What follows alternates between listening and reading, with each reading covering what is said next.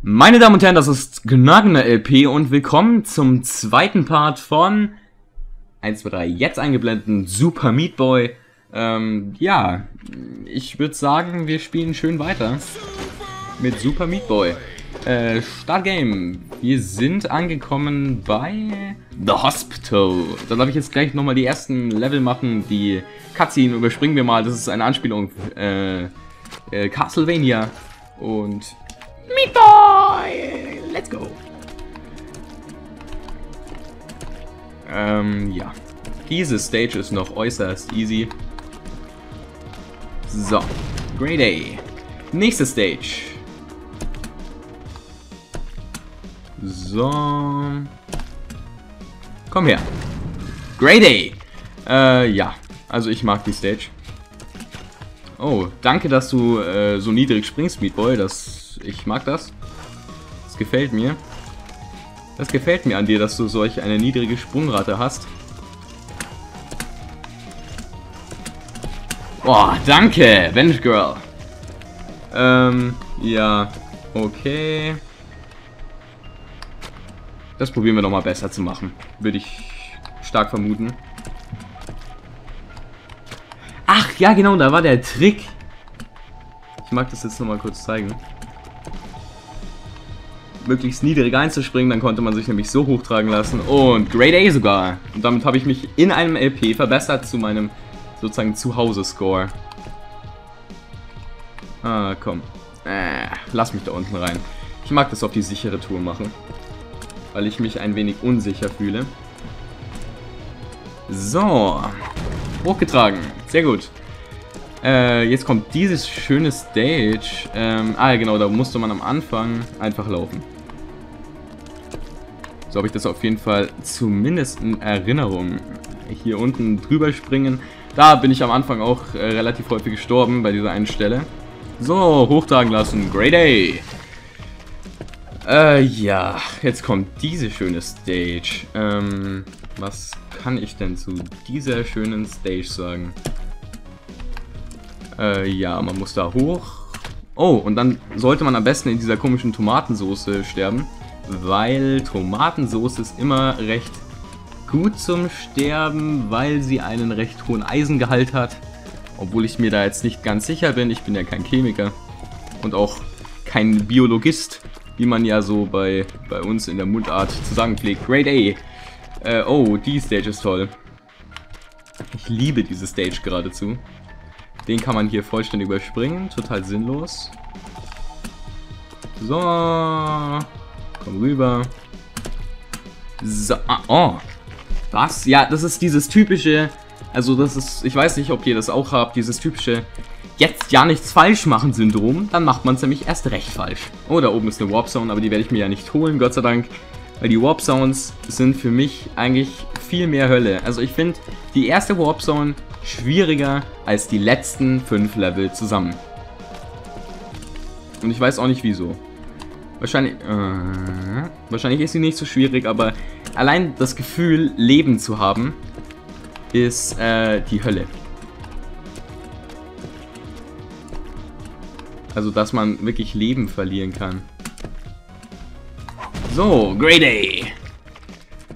A. Ah, danke. Ach ja. Ja, es ist dieses typische Ich trau mich nicht Syndrom. Das habe ich immer. So, dann müssen wir ein bisschen warten, rüberspringen. Und am besten an diesem kleinen Blob sterben, weil der kleine Blob, der hat nichts vom großen Blob. Außer vielleicht, dass er auch ein kleiner Klumpen Fleischbrühe ist. Great A. Ähm, ja. Oh ja, oh ja. Äh, das stört mich ehrlich gesagt ein bisschen, dass Meat Boy immer überall hängen bleibt. Auf jeden Fall haben wir jetzt diese Stage so gut wie abgeschlossen. Wow, kackt mir gerade die Framerate ab. Ähm, auf jeden Fall haben wir jetzt wieder die 60 Frames erreicht. Jetzt machen wir diese Stage. Oh, und danach werde ich mal kurz auf die Uhr gucken und werde sehen, oh, das ist erst 4 Minuten. Erstaunlich. Oh, ja. Ich werde diese Stage wahrscheinlich noch ein bisschen häufiger spielen. Danke. Meat Boy schafft das A+. Oh, jetzt kommt eine meiner Lieblingsstages. Aber auch bloß mit viel Hopfendigerlei. Ach ja. Ach ja, töte mich. Töte mich. Ich habe es nicht verdient zu leben.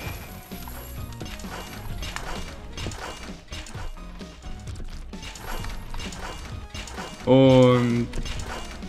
Hallo Mi. Äh, hallo Mi, sage ich schon. Natürlich nicht Mi, das ist Bandage Girl. Ach, und... Chuck, Great A. Wow, das sah sehr stylisch aus, Meat Boy. Ich muss dir das lassen.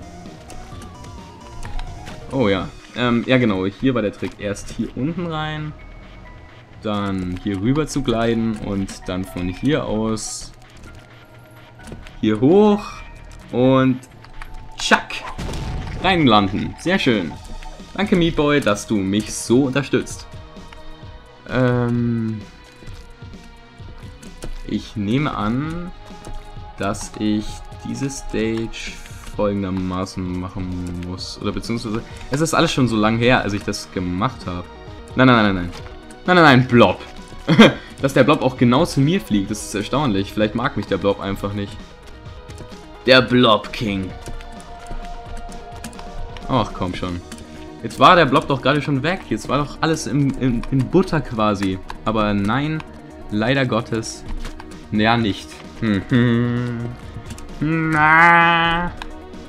Mäh. So, jetzt ist der Blob weg. Oh, Gott sei Dank ist der Blob weg. Ja, der Blob, der stört immer bei allen Aktivitäten. Ja, gell? Bum, bum, bum. Oh, Bandage Girl. Nächste Stage. Woo! Sehr schön. Diese Stage mag ich nicht, weil die das erste Mal diese komischen Laser hat, die Gott sei Dank im Spiel selbst nicht so häufig auftauchen. Wow, ah, WTF? Ach ja, das ist diese Glitch Warp Zone, die man manchmal aktivieren kann, lustigerweise. Ich bin erstaunt. Äh, hä? Ja, Gott. Ach, ach, da war Lava am Boden. Das habe ich doch nicht... Ich habe das für Teppiche gehalten. Das kann ich doch nicht sehen, dass das Lava sein soll. Warum habe ich so einen seltsamen 4-Bit-Meatboy? Und warum verfehle ich das hier ungefähr, als wäre ich ein kleiner Bodenwurz? Das ist mir jetzt ein völlig unbekannter Teil des Spiels. Also das wusste ich nicht, dass es hier in dieser Welt auch so eine komische... Oh, egal. Game over auf jeden Fall. Wir kehren zurück in unser eigentliches Level. Und wir haben auch bei der zweiten Welt die Glitch-Welt freigeschaltet. Ich bin erstaunt. Ich wusste das nicht, dass es das in jeder Welt gibt. Ich dachte, es wäre so ein kleines Bonusding ähm, in der ersten Welt. Ich nenne das Glitch-Welt, weil äh, also es sind halt immer so ein paar Glitches dabei. Auf jeden Fall die Grade A geschafft. Ach Gott, aber das, das, das muss möglich sein. Das muss möglich sein. Das sehe ich nicht ein, dass es das nicht möglich sein soll. So, so hier rüber und hoch. Ach, ach Gott. Trau dich. Trau dich, Blark, trau dich. Und du wirst einen Preis gewinnen, der seinesgleichen sucht in der ewigen Welt der Preise. Äh, ja, das war jetzt gerade ein ziemliches Fail. Möchte ich anmerken. So, sehr schön. Komm her, Grade A. Äh, ja, diese Stage, 8 Minuten aufgenommen. Erstaunlich, dass es schon so viele Minuten sind. So viele der gleichen Minuten. Ich bin erstaunt, ich bin erstaunt. Oh Gott. Und da ist auch schon die Kette, die sich langsam auflöst in ihre Einzelteile und Level Complete, kein Grade A, da habe ich das noch nie geschafft. Ähm, kann ich leider auch nichts für. Auf jeden Fall gilt es jetzt hier erst einmal zwischen dieses komische Ding zu kommen, dann hier herunter zu rutschen, hier herunter zu rutschen und dann letztendlich hier herunter zu rutschen, Grade A abzuholen und weiterzugehen in die nächste relativ lange Stage, die auf uns wartet und zwar diese hier. Äh, lustig ist, dass ähm, durch die Nadeln diese komischen Blobs durchfliegen können, was ich nicht ganz einsehe, weil ich, ich denke ja mal, dass es äh, Blocks sind, also richtig hart so. So harte Blocks. Und nicht solche at random reingesetzten, keine Ahnung, Halbblocks-Typen. So, also das hätte jetzt schon viel zu gut funktioniert, will ich das in einem Durchlauf schaffen. Auf jeden Fall sind wir beim Endboss angekommen. Mal gucken, ob wir den in fucking zwei Minuten schaffen. Und, äh, in fucking vier Minuten meine ich natürlich. Und Flame, Framerate, Einbruch, keine Ahnung, auch was auch immer. Auf jeden Fall schauen wir uns diese tolle Cutscene an.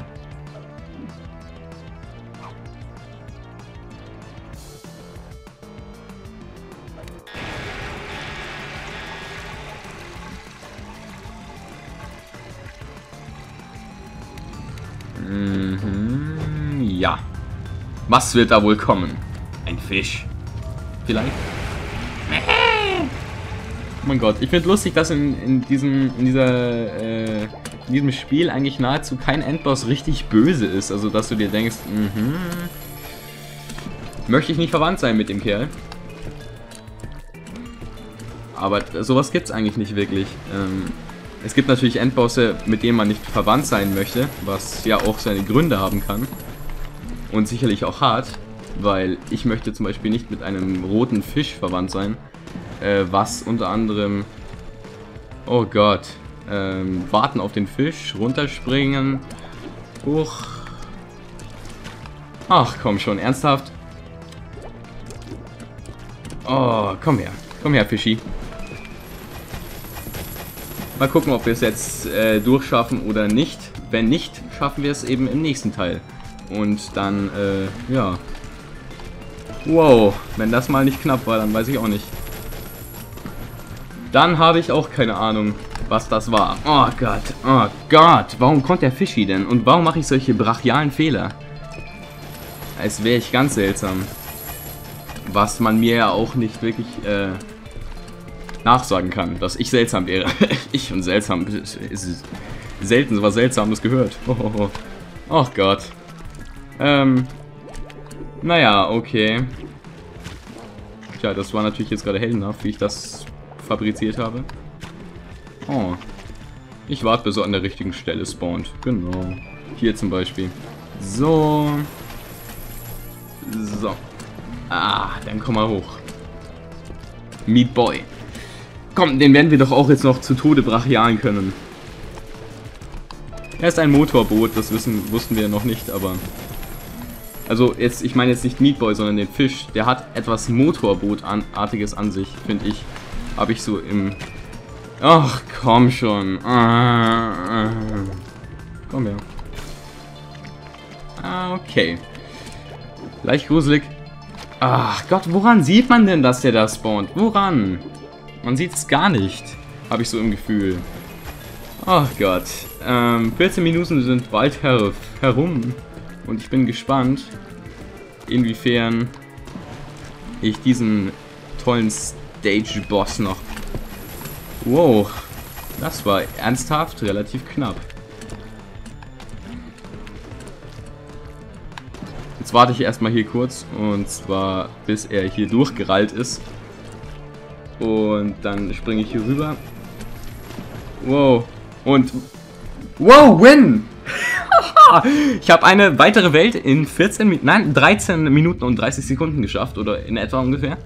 Und jetzt gucken wir uns noch diese geniale Cutscene an. Und dann beenden wir das Video. Oh, schaut euch das kleine Viech an. Ach ja. Oh mein Gott, Dr. Pete ist böse, böse. Oh, es will bloß Bussis geben. Meatboy. Sei nicht böse.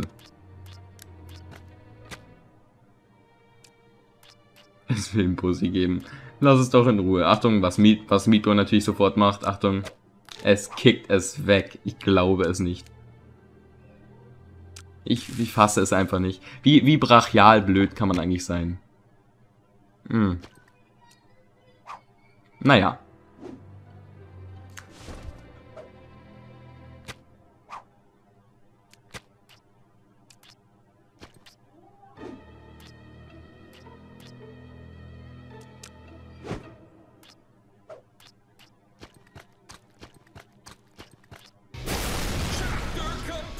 Chapter complete und damit beende ich das Video. Tschüss!